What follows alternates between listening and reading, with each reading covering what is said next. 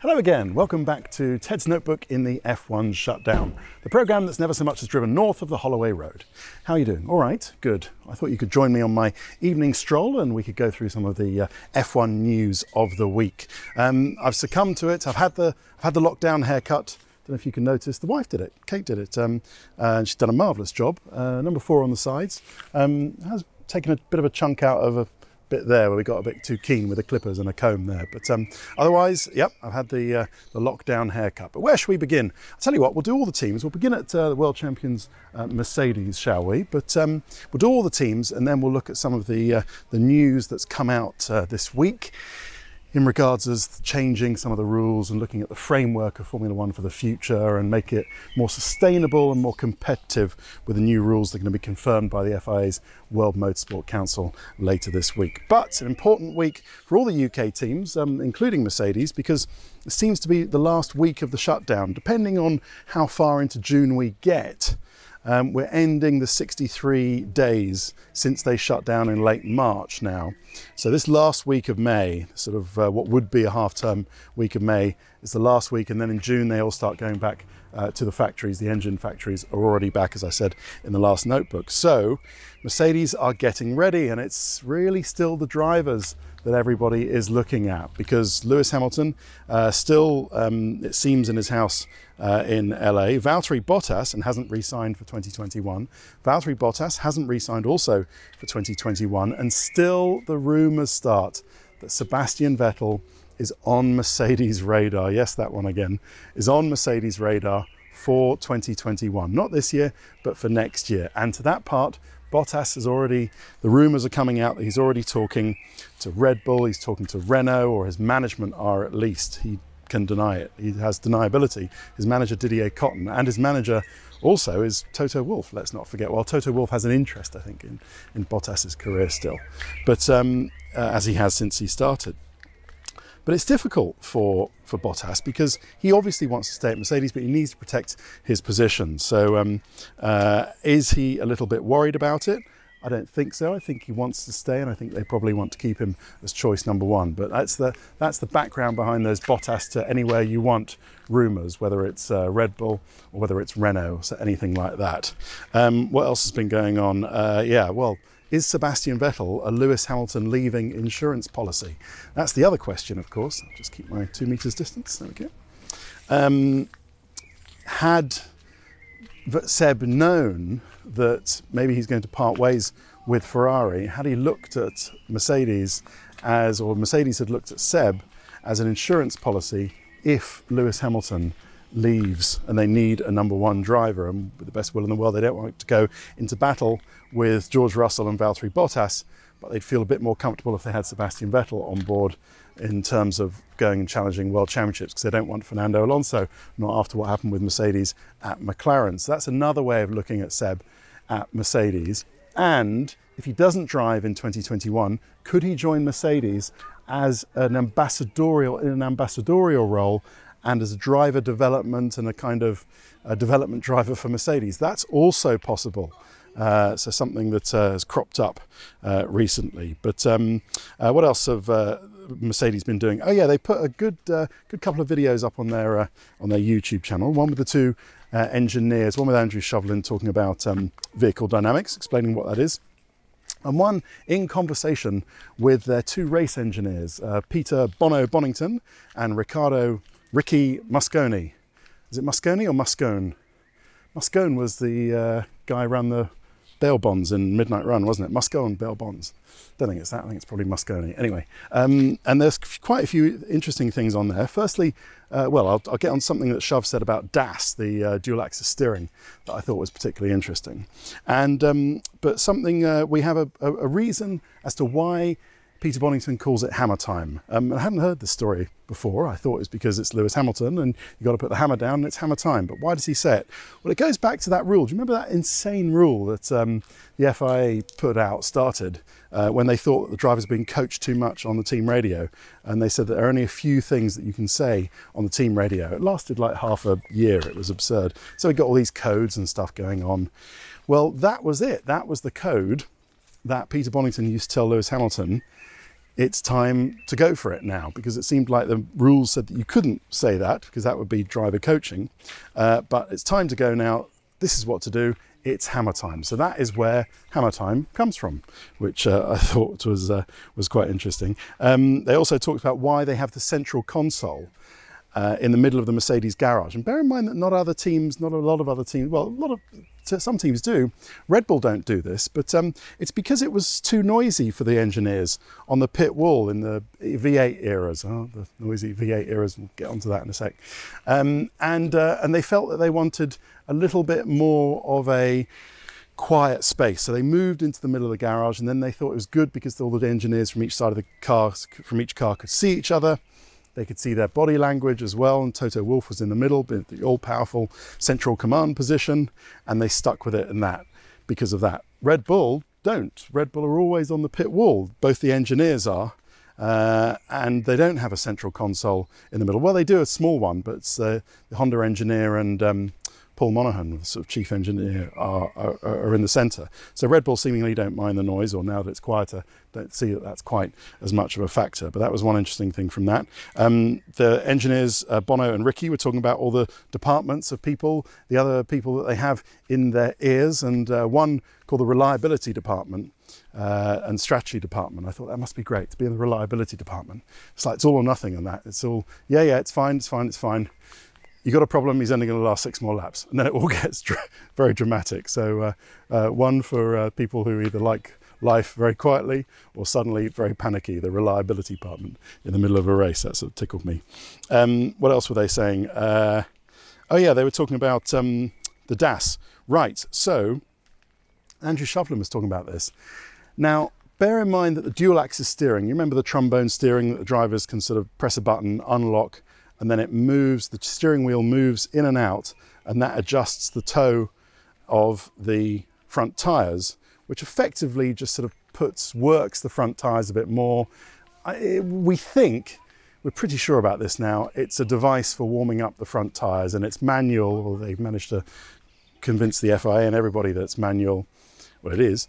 Um, and that's how it's legal. And because the steering allow the steering rules allow it, even though suspension rules don't, but that's a different matter it is legal and they can use it to warm up the front tyres. It might be that we don't go to all the tracks where front tyre warm up is so critical that the DAS would be useful because uh, Andrew Shovlin uh, let this out, mentioned this. He said that we get to some tracks called like Monaco, which isn't happening this year, Canada, which very probably isn't coming happening this year, and Baku, which might not be happening this year, where we really suffer from not having hot enough front tyres. And that's where, Shove, Shove didn't say this, but, but this is where we think the DAS will really help, is in the, those tracks where the front tyres get cold. And that is a way that Mercedes have found, that's what the DAS does, of effectively putting heat into the front tyres so that you've got warm front tyres in the sweet spot, you've got warm rear tyres in the sweet spot as well, and the car, everything is cushy. So uh, just thought it was interesting. But DAS is outlawed for next year, it's banned for next year anyway, because the FIA thought it was going to get under, out of control with all the other teams trying it as well. And it looks like the three circuits where it might have been of most value, we might not even go to two of them. So, um, uh, Auf Wiedersehen, DAS. DAS End. Is DAS the end of DAS? Something like that. Um, it's uh, as the team say, the benefit of DAS is still unknown. They still need to test it when they get to races. After all, they were going to test it in Melbourne, but then Melbourne never happened. Uh, that's uh, but we'll see. Um, as for the uh, E racing, Esteban Gutierrez uh, was P2 for Mercedes in the latest uh, round of the uh, the sim racing or E racing. That was in Monaco. And Stoffel Vandoorne, though, their other driver, was in, in, embroiled in some controversy. Now, you might think this is odd because Stoffel Vandoorne is probably the least likely uh, driver to get embroiled in controversy. He's always been a very mild-mannered Belgian chap, hasn't he? Um, not I'm saying anything about Belgians, but Stoffel's been quite mild-mannered. No, he uh, immediately after finishing, and uh, uh Daniel Abt, ABT, the Audi driver, the Audi Formula E driver, was third. Uh, Stoffel said, yes, well, that was all well and good, and so did Jean-Eric Vergne, the uh, double uh, Formula E champion. But Daniel Abt uh, obviously wasn't driving, it was somebody else. Um, and uh, because apparently you couldn't see him on the, uh, on the, the, the, the, the, webcam that they have. and it turned out to be true. So uh, Daniel Abt, um, he was ab- he Abt was absent from the whole thing, and uh, they checked the uh, IP addresses and everything, and they found out that Daniel Abt, um, who's very embarrassing for Audi, this because people are taking these uh, virtual races seriously, had brought in a ringer. It was a pro sim racer, an 18-year-old kid called Lorenz Hörzing, Lawrence Hörzing, uh, German chap, and um, he was fined 10,000 euros uh, by Formula E and told to give that to a charity of his choice and disqualified from the whole championship, the virtual Formula E championship so far, and has um, gone away in uh, quite a bit of, all right, kids, a bit of disgrace because uh, he, uh, well, as Mark Hughes um, from Motorsport magazine, who works for us the, works for Crofty and Martin in the commentary box, uh, very properly said, um, a pretend, a pretend Abt, pretending to be him in a pretend race. So um, it's uh, it's it's showing that you know he might have thought because he'd been rubbish. That's the thing. Abt has been absolutely absolute absolutely terrible. Sorry, I got a stone in the sandals. Um, uh, Abt had been absolutely terrible up to that point, and suddenly he got to Monaco. He was fantastic and on the podium, and everybody, well, Jean-Eric Vergne and Stoffel Vandoorne very much smelt a rat, uh, and it turned out that uh, he'd brought a ringer in. Just thought it was quite funny. People taking it very seriously. Uh, poor Lawrence Hörzing didn't get any of the credit. I wonder if he got paid for it. Um, right, Ferrari. We have some interesting things going on uh, at with Charles Leclerc because they have done uh, Le Grand Rendezvous in Monaco, Monaco at dawn. So last weekend was meant to be uh, the Monaco Grand Prix. Of course, it didn't happen. Um, and so instead, now have you seen? a short film. It's about nine minutes. It's by um, a Frenchman called uh, director Claude Lelouch, uh, called Le Rendezvous, where uh, a fast car, supposedly a Ferrari, um, goes through the. Oh, just keep my distance here. Sorry. Um, goes through the streets of Paris doing uh, outrageous speeds, uh, going through red lights and being horribly dangerous, um, supposedly to make a rendezvous with a lady on the steps of uh, Montmartre Cathedral or church. Well, they decided to do another one, and they called it Le Grand Rendezvous. Um, and it was uh, it wasn't a man in flares who was driving this time. It was 1976, the first film, uh, but it was Charles Leclerc looking very dapper. Uh, now, the story about the 1976 one was that, um, and that film was called C'était un rendezvous. It was a rendezvous. Uh, was that it was meant to be filmed in a Ferrari 275 GTB V12, nice car. Now, the story is that the suspension on the Ferrari was so hard at those speeds, it would have shaken Lelouch's camera equipment to bits. And actually, he used a souped up Mercedes uh, C Class with a, a, a, a, massive engine to do those speeds, and then dubbed the Ferrari sounds with the gearbox and the engine, that glorious V12 engine, more of which we'll talk about in a bit, over the, the, the, footage. Of course, the footage was forward facing from the bumper, so you couldn't see what car it was. But a Ferrari was very much used in this version. It was the Ferrari SF90 Stradale. Uh, and I've got the press release here. It's worth, uh, worth, worth reading. French director Claude Lelouch shot his short film Le Grand Rendezvous in the Principality of Monaco dawn this morning on the very date the Grand Prix was to take place. The French director's cameras accompanied the Ferrari SF90 Stradale as it completed an adrenaline-fueled lap of the circuit. Charles Leclerc drove up to 240 kilometers per hour. What's that? 160? Uh, en route to the mystery big date of the title. Oh, I wonder who the uh, big date was with. Um, just going to page two. Uh, Prince Albert, His Serene Highness Prince Albert of Monaco, made also a brief appearance. We should say, glad that uh, His Serene Highness is um, is well again. He had uh, the virus, uh, so he looked well. Uh, at the uh, the Ferrari chairman John Elkann was there as well as some other dignitaries.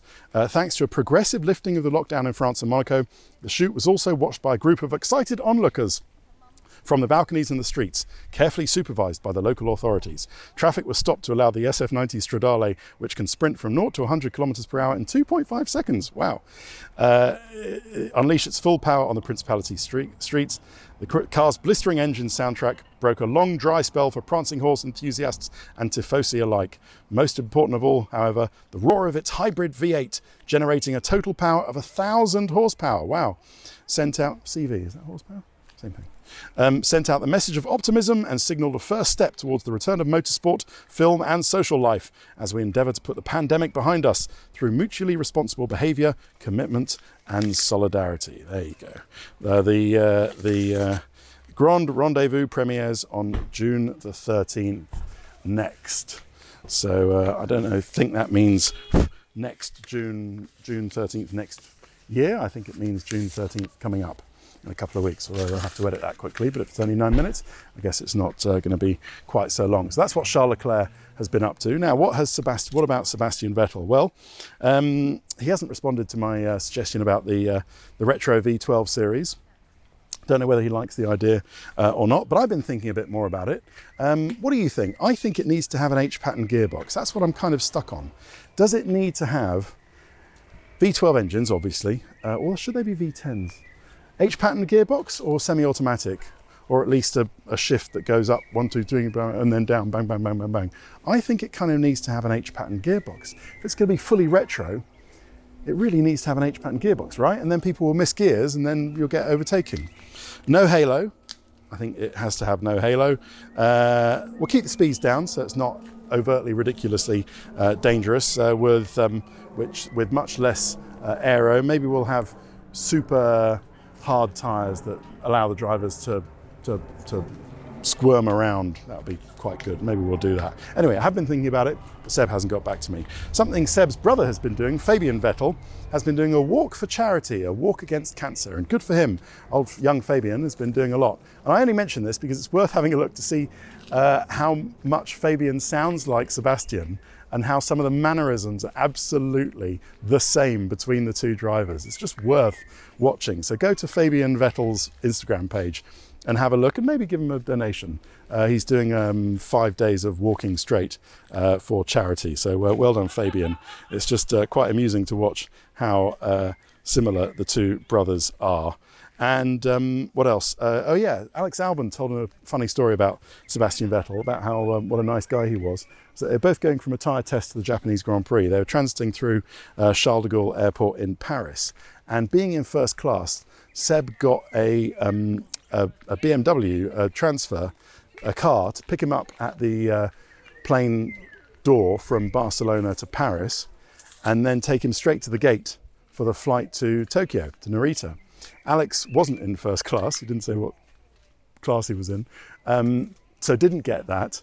But Seb said when he got down to the uh, down the stairs to the car, uh, wait or attendez, I've got a mate back here who's getting the same plane as me with a very tight connection.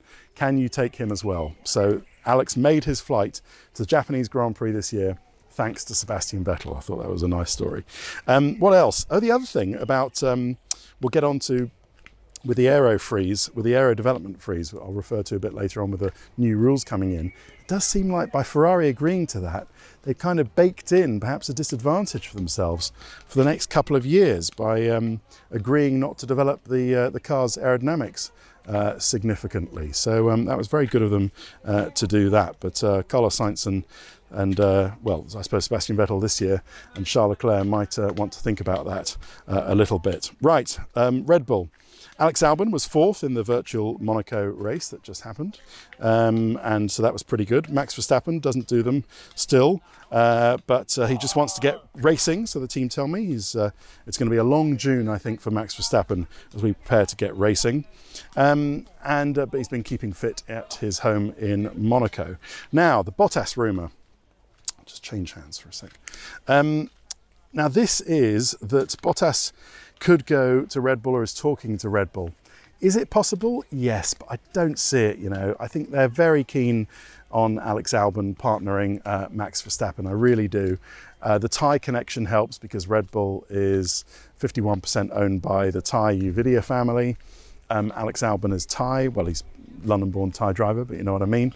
And I don't see that Bottas would do anything particularly that Albon can't do. So I think while it's um, uh, true that uh, uh, Bottas is obviously talking to Red Bull, and Red, Red Bull are probably talking to, to, his representatives. I can't really see that one happening. I don't think it makes sense uh, for either party, but you can understand, as I said earlier, why Bottas is looking at it because um, he has to protect himself. Now, McLaren, they'll be glad of the budget cap. Uh, budget cap is coming in uh, which is going to be 145. Zak Brown didn't get the 130, 120 million uh, dollar budget cap he wanted just yet. He's going to get it, it seems, in 2022 and 2023. So uh, I'll tell you the details later. Until sorry, 23, 24, 25, it will go down to 135 uh, million US dollars. So um, by which time you would say McLaren will be on the way up with Mercedes engines. So it might be perfect timing for McLaren to hit that budget cap lower that they wanted. So it's a level financial playing field for everybody as McLaren go up in competitiveness, having had a few years uh, getting themselves out of uh, uh, the, the mess that they've been in for the last few years post Honda connection. But um, what else has been going on? Uh, well, McLaren need the budget cap. No wonder Zak Brown was so keen on it. McLaren need the budget cap uh, as much as anybody else. Of course, remember uh, they were the first ones to put their uh, staff on furlough, which was followed by pretty much every other uh, Formula One team. And the car uh, division isn't selling any cars at the moment because um, people aren't allowed to drive. Well, we're told people aren't allowed to drive. Some people aren't allowed to drive, some are. Um, it seems, and uh, that's why the car division is, uh, is, is, is, really hurting at the moment. So McLaren really need that all uh, to come in. Um, Carlos Sainz did an interview with uh, my colleagues at F1.com with Will Buxton, and he said that uh, Ferrari approached him over the winter. He wouldn't specify when, sometime between the end of last year, end of 2019, and when they did the deal. So it looks like they had uh, thought about a plan B quite early in case Sebastian didn't turn, Sebastian Vettel didn't uh, work out, which indeed it didn't. Um, that was one interesting thing from that. And then he's very excited, is Sainz about the Ferrari move. He's thinking already about how he might test the car, whether there's going to be any testing over the winter of 2020, 2021. Probably not, because we're going to have such a late end to the season. He's going to have to learn about all the new procedures. And I wondered whether he's going to move to Bologna or to Maranello, because at the moment he talked about you know how important he's found it to be to be close to the McLaren factory. And I wonder whether he's going to uh, up sticks from Woking. Why would anyone do that? Lovely place to live. Uh, and actually move to Italy, or maybe move to be to be with Charles Leclerc in Monaco. Presumably, he's going to earn quite a bit more from Ferrari than he was uh, at uh, McLaren, is Sainz. And um, maybe he'll go to Monaco and then drive the, what is it, four and a half hours from Monaco to, uh, to Maranello. But um, I like the idea of him living uh, down the road in uh, Bologna or Modena or somewhere like that. But um, what else was he was saying in this video that uh, he did with F1.com? He was saying about how great Zak Brown and Andreas Seidl were about, about him moving and how supportive they were, which kind of surprised me. I guess it's the new McLaren, isn't it? It's the new midfield McLaren. You wouldn't have had Ron Dennis being all nice about um, Kimi Raikkonen going to Ferrari. In fact, I remember he was spitting blood about it. He was very angry about it. But um, he was getting uh, uh, Fernando Alonso in, I suppose, when Kimi left to go to Ferrari. But uh, yeah, anyway, I suppose that was nice of Zak Brown and Andrea Seidl to be um, to be supportive rather than stand in their way. I guess they couldn't stand in Carlos Sainz's way, uh, given that uh, a big team had come in for him. Um, Natalie's done a great piece with Lando Norris about his uh, F1 crib, so check that out on uh, all of our channels and uh, on the TV. It's good fun. Um, but uh, he did a good little post on social media where he saw a squirrel outside his house, Lando Norris, and he said um, it's the only human contact or um, furry contact he's had uh, all, uh, all week, and it's his friend, and he's going to call him Carlos. So uh, Carlos the squirrel. He might some leave some nuts out. Lando might leave some nuts out for um, Carlos the squirrel. Um, anything else was saying? Uh, uh, Arthur Leclerc. Oh yeah, he made a little Lando did a little um, move on Arthur Leclerc in the in the in the sim race, which um, it was a little bit of a, a mistake. Now, Renault. How long have we done? Oh goodness. Um, you might have heard quite a lot about this. Uh, Renault, the, the French finance minister, did a, a, radio interview where he said Renault might not exist in the future.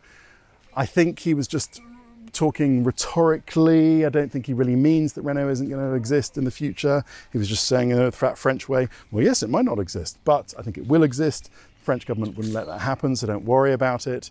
Um, whether that 5 billion euro uh, fund that the French finance minister is going to approve for Renault, the car maker, is going to extend to keeping the uh, F1 team in business remains to be seen. But with the uh, with the rule changes coming in to uh, drop the cost of uh, owning uh, and running a Formula One team coming in, it makes it more attractive if somebody else, another billionaire, whoever it is, wants to buy Enstone as a team off Renault and take it on as a going concern. The idea is with this incoming, uh, all the new rules and the budget cap, is that owning a Formula One team, running a Formula One team, will be break even at the very worst and profit making uh, at best. So um, hopefully, uh, I'm sure they will con- continue. Um, the, uh, the, the cut costs, the, the cost caps will help the team. Cyril Abiteboul said, and um, something that won't help Esteban Ocon is the um, computer connection between the uh, Renault showroom on the Champs Elysees. Such a sad story. This is absolutely broke my heart. All right, Esteban Ocon is just can't get a break at the moment. He's desperate to get racing, and Renault thought they'd do for the Monaco Grand Prix this great little PR exercise where they got Ocon into Paris to the Atelier Renault, which is on the Champs Elysees. Uh, if you've ever been there, it's very nice. If you haven't, go. It's really nice. You go. They've got some um, Renault Twingo and some old Renaults, and you can go and try your luck in a a pit stop changing competition, you know, that kind of thing. Anyway, it's good. So Esteban got in there, was going to do the Monaco Grand Prix from there, and then the computer crashed. Couldn't do qualifying, couldn't do the race, had to apologise to everybody for, um, for getting them there. I assume they had them there um, in masks or two metres distant. Um, and um, the whole thing just never happened. It, it n'existed pas. Uh, so that was really, uh, really sad. I just feel sorry. Kind of sums up Ocon's season uh, a little bit. Um, is Alonso coming back to Renault? Very possibly, depending on who you listen to. Uh, will he wait and see if Renault survive before he makes a commitment? Probably that would be sensible. But Bottas's people also talking to Renault and Cyril people as well.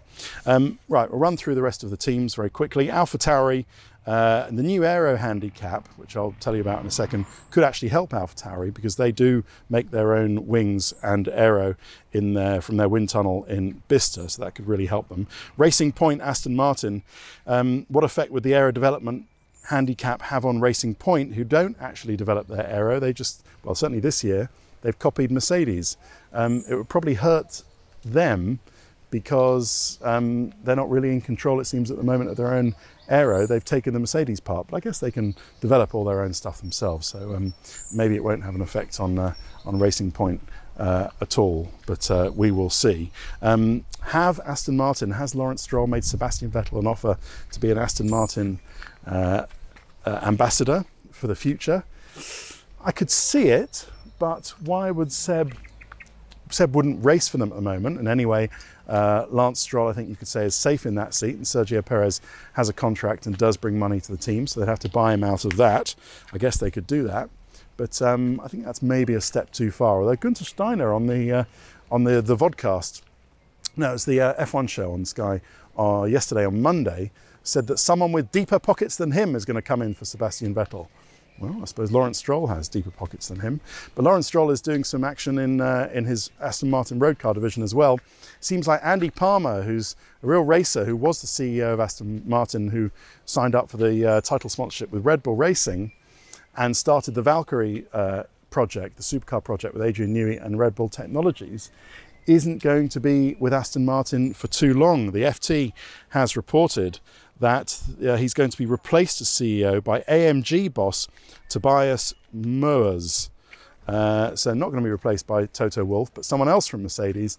The AMG division of Mercedes, Tobias Moers, is going to be the new uh, boss of um, Aston Martin, so say the FT. The FT also reported that uh, Andy Palmer hadn't been told about this, and the first he learned about it was when the FT called him to ask him for some comment about it walks, bit of walks from that. But um, yeah, we will see um, whether Lawrence Stroll decides to take a different direction from what Andy Palmer was doing uh, with the, the Valkyrie hypercar project.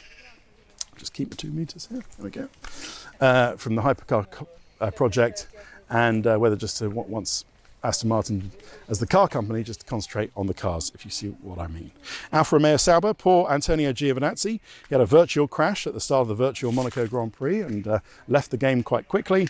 Um, and um, uh, Kimi Raikkonen has been celebrating the third birthday of his daughter Rianna. So, should we say happy birthday, Rianna, uh, Kimi's daughter, three years old? Wow, doesn't time fly? But we should also say um, the Alfa Romeo Sauber test driver Juan Manuel Correa. You remember him? He was involved in the horrific uh, crash which killed Antoine Hubert at Spa-Francorchamps last year.